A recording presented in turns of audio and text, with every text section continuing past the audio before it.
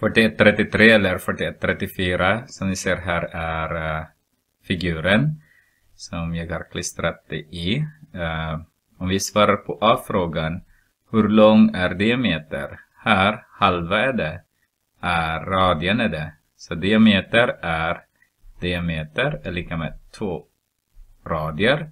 Så är det 2 multiplicerat med 5,0. Så har vi 10,0 centimeter. Så. B. Beräkna omkretsen. Så omkretsen är lika med 2 diameter, ah, nej, 2 diameter. 2 radier multiplicerar med pi. Så har vi, eh, har vi räknat, räknat redan där. Eller jag skriver 2 multiplicerar med 5,0 multiplicerar med pi. Och då har vi centimeter där.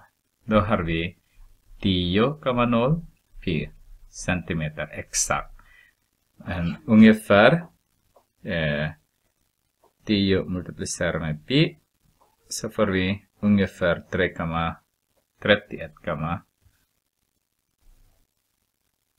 31,4 centimeter. C.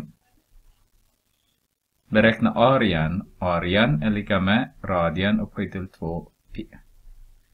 Radien är 5,0 upphöjt till 2 eh, pi kvadratcentimeter. Så har vi 25,0 pi kvadratcentimeter. Så 25 eh, multiplicerar med pi 78,5 kvadratcentimeter.